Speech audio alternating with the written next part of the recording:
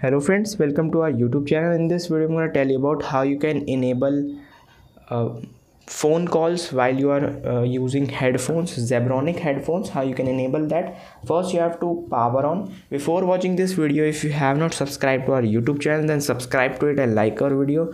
So let's start friends. First you have to open your bluetooth like this and turn on this. You have to first connect this.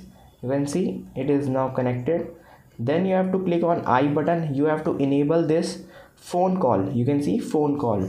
Enable it and you can use your uh, phone call while using your headphones.